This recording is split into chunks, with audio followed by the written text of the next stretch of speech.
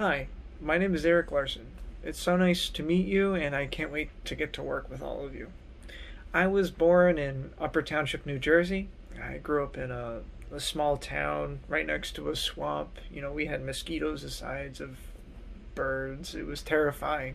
Um, but more importantly, when I was a kid, I was diagnosed with a dangerous heart murmur that negatively affected my health. So much so that I couldn't go out much with my friends and I had to come home immediately after school. Um, and with my parents both gone trying to make ends meet, um, I had a lot of time just by myself.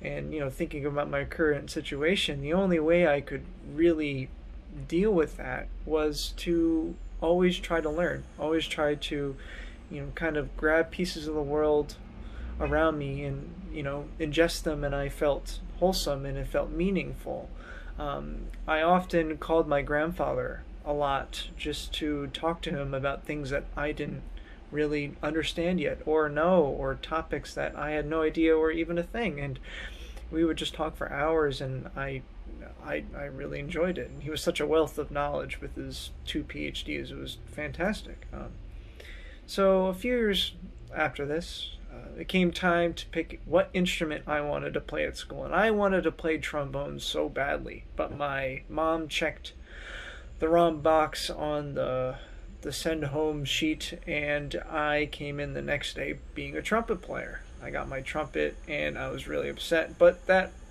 frustration didn't last for very long as I soon fell in love with playing the trumpet.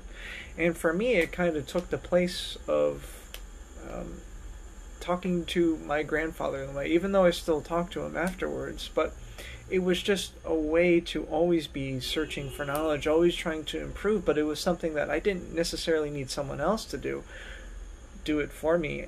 I got to search for that knowledge myself. You know how to play the instrument, how to play musically, how to, you know, listen to others and replicate it. And it was a whole world open to me. And this is a world that I could live in and find an escape from you know my current situation you know being bad health and being kind of isolated my parents not being there. So it was it was really important to me. Now if we go to high school i signed up for every youth program I could sign up for. And I I drove to Philadelphia from New Jersey which is about an hour and a half um, one way um, three hours both ways just so that I could play with other people. And it was just this world that I could dive into where, you know, uh, all of this emotion and this quest for knowledge just could be completely satisfied. And it was wonderful. And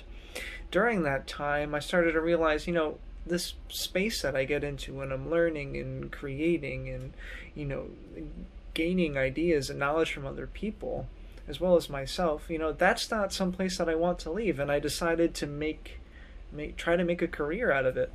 And, you know, with that drive, uh, it's what propelled me to apply for Juilliard, is what drove me to get accepted and to finally attend. And I'm currently in my third year at Juilliard as a trumpet performance major.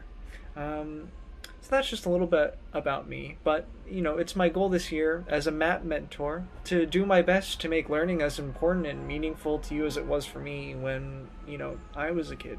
To fill in that space, to give you, you know, this mental safe space that you can be in. And I can't wait to work with you all.